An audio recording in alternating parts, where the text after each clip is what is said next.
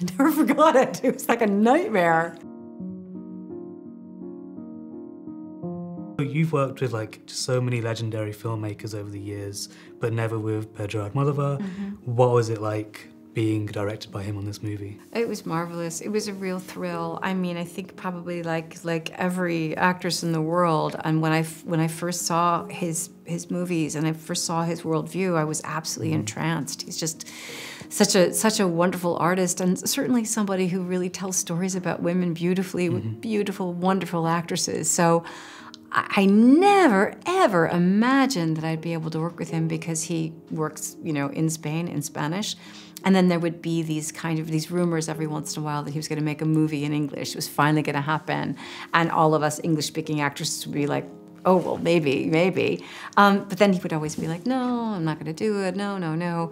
So when I got this email out of the blue from him for this film, I was astonished, mm. really, really, truly astonished. And it was a, a, a, great honor to be able to work with him and to become, you know, to be in part of his canon. Uh, the movie film is based on a book called What Are You Going Through? Were mm-hmm. you aware of the book when mm-hmm. you read the mm-hmm. script?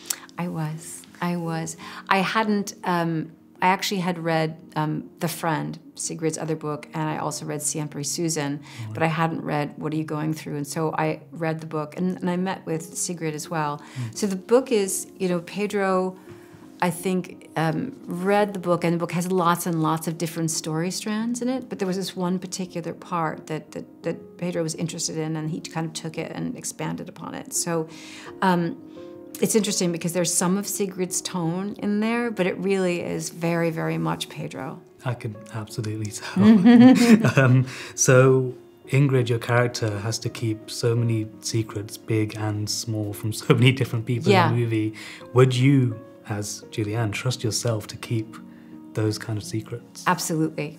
Yeah. I'm actually really, really good at keeping secrets. I'm, I'm very trustworthy, and if I think if someone tells me that there's something that is completely between us, then I, I honor that. The spectacle of the film is more in the script than in like any action, and that means a lot of it rests on your performance. Mm-hmm. Is that a challenge that you kind of relish, or is it always intimidating to receive a script like that? Anytime you're entrusted with a terrific script, with, with great storytelling, it, it feels um, it feels exciting, and, and also you, there's always a level of anxiety. We always, I think all of us who care about our work feel that we have a responsibility to do it well, you know, mm-hmm. and that we want to do it well.